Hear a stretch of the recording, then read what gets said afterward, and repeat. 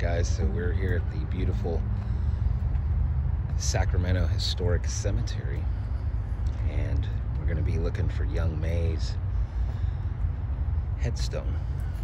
Now, the reports say that if you put your hand on it, you can feel her nearby.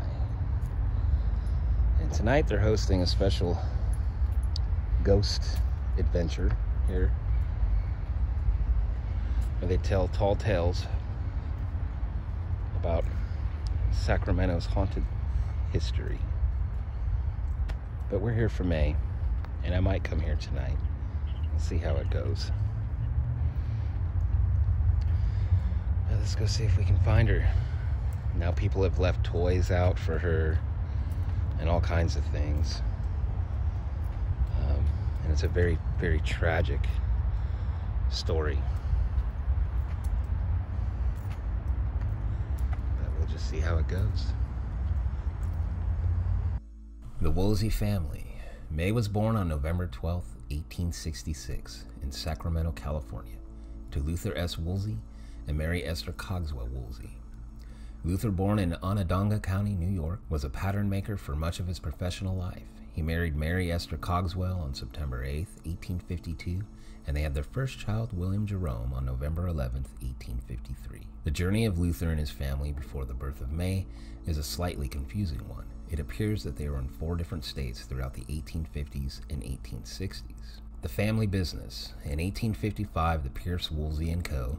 opened in Sandusky, Ohio, specializing in carriage and wagon wheels. Luther decided to leave New York and joined two of his brothers in Sandusky to help make the Woolsey name a prominent one. However, Luther's time in Sandusky only lasted a few years as he decided to head west.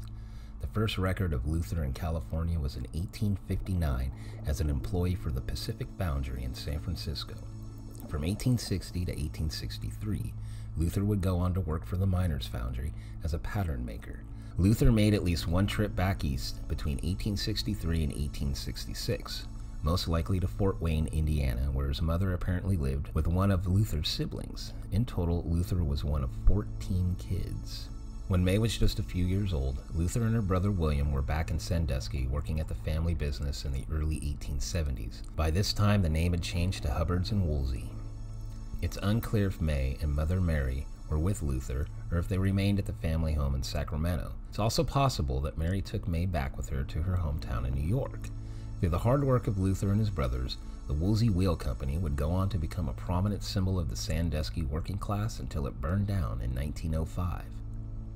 By the mid 1870s, Luther and family were back in Sacramento. The patron of the family would finally settle into a career as a machinist with Sacramento Ironworks before finishing up his career with the railroad shops in Sacramento. Also around this time, May's brother William, who was married, brought his wife and daughter to Sacramento for the remainder of the decade. The Woolseys became well known within Sacramento and even were acquaintances with elite families like the Crockers. By all accounts, May was a bright girl with a very promising future ahead of her. The death of May. In September of 1879, May became very ill and spent many days in bed. Some sources believe she became sick from a mosquito bite, while others claim it was the measles. Eventually, her illness led to encephalitis, and she died on September 21, 1879, just a few months shy of her 13th birthday.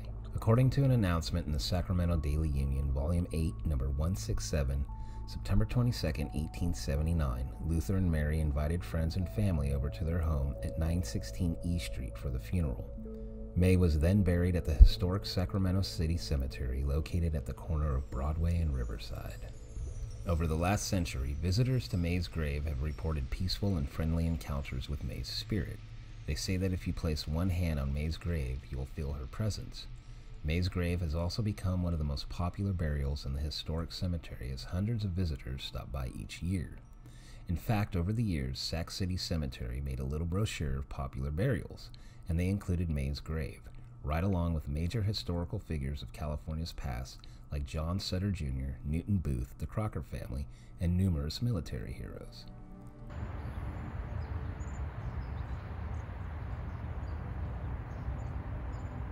Hello, May. I'm going to tell your story. Your sad story.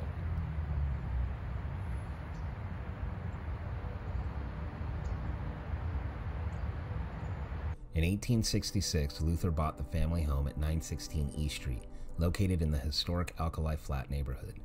The house was actually built by one of Luther's acquaintances, Gordon Bacchus, who apparently constructed it and sold it to another individual.